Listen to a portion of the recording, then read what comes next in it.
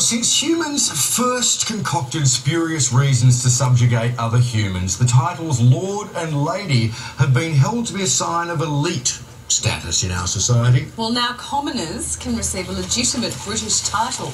Due to a loophole in Scottish landowner law, anyone can become a lord or a lady, and it will cost less than $60. So, how does one officially become a lady? Well, Alex Fluitt from Highland Titles joins us now. She sells these titles of nobility and also joining us to speak from her own experience, comedian Lady Julia Morris. Good morning to you both. Now, Alex. Good morning. you've got that I like the regal wave. Yeah, lovely. Where, where's your tiara, lassie?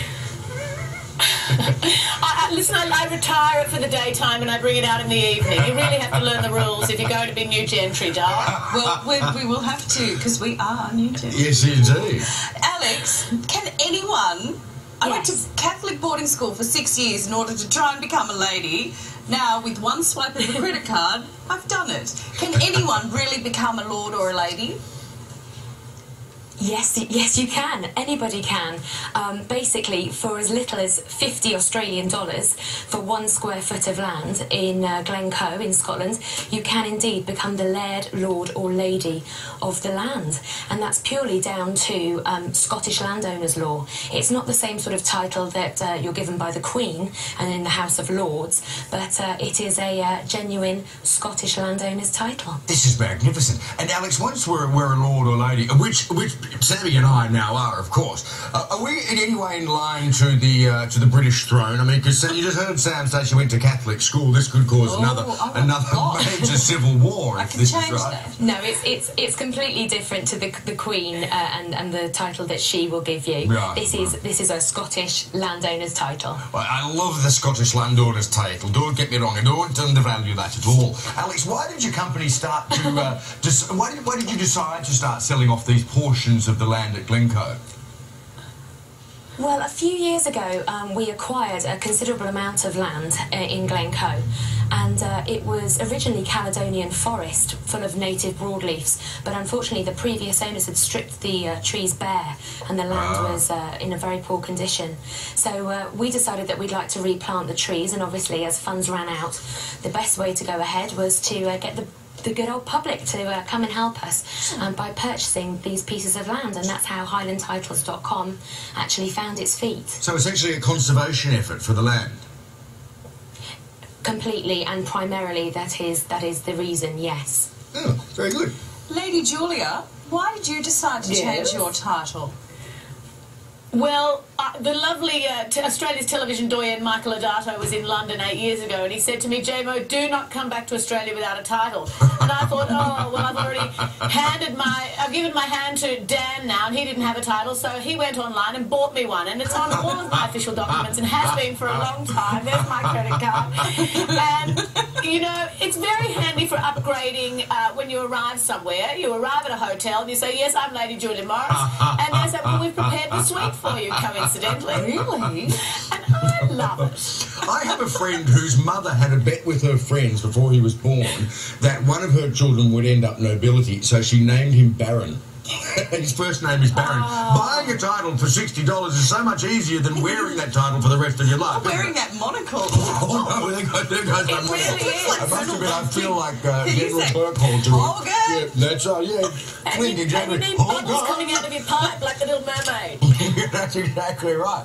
Now, listen, Alex, once we have this land, as we now do, of course, It's Lady 100, Samantha. 100 square metres. Yes, you do. No. You now Indeed, it's yours 100 square feet. Please, oh. That's all right. It's a little smaller than you'd imagine. You oh. won't be parking your Bentley up there anytime soon. Oh. But once we have the land, what, what can we do on the land, Alex? I mean, I intend to run a, a drilling operation and hope to hit some shale oil.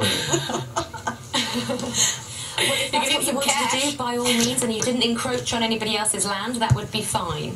Um, basically, anything within the law is perfectly acceptable. Um, come and camp. Oh, good. Come and fish on the loch. We've got a beautiful loch up there. Come and take in the view. Uh, come and birdwatch. Come and bring your family because um, this land is yours forever, and it can be passed down to your future generations. So, um, yeah, come and enjoy it. Does that mean that the future generations will also be uh, lairds of the land?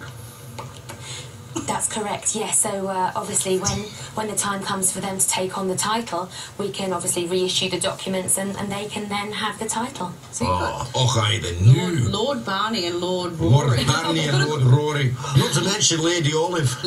Olive. Okay. Gorgeous. Three of them are going to be sharing the 10 square foot of Scotland. I'm going camping. Does anyone want to come camping with me? This is so exciting. There's an offer for you, Dave, after all. Julia, Julia, how, sorry, Lady Julia, do you think people react differently to you now, especially when they see your credit card in shops in LA? Oh, uh, listen, without a doubt, they definitely take a bit of a second glance at it and pretend it's normal. That's one of my favourite things. Is they kind of look at the credit card and they'll be like, "Hello," and then they look down at lady and they'll. Oh, okay, all the best. And also, I, I think it's it's a little disconcerting when they see a booking before I arrive and it's Lady Julia Morris, and then I turn up from Gosford. hey, how's it going? All right? And I think that Lady Julia of Gosford, I love it. it, but I think it's um, for me it's really demystified the aristocracy because really even up the high end, the ones that the Queen gets out every now and then, you can buy one of those. but don't ever quote me on that because I'm not convinced that's factual. But it's a rumour I heard. I like the fact that the only credit card sample we've got from Lady Julia Morris is the egg card. Absolutely. You better get That's the goose eggs out? Classy. It's Lady Julia Morris. That's why I want to go and lay my eggs on my land. Simple as that. We should all get together and put our land together and maybe build like a miniature hotel or something. Right. We could take over Glencoe, totally could. turn it into a Catholic stronghold. It would be mad if we, I had 13 years of all girls Catholic private school education, and really, I, I absolutely had to buy the title to become a lady. But that's another story altogether. I'm not here to blame Dominicans. I'm hearing you, honey. At this point, poor Alex is thinking she's made a big mistake granting us land at Glencoe. Crazy Australians. Alex, thank you I very much for, uh, for informing us about this. Quickly before we go, anyone can buy, right?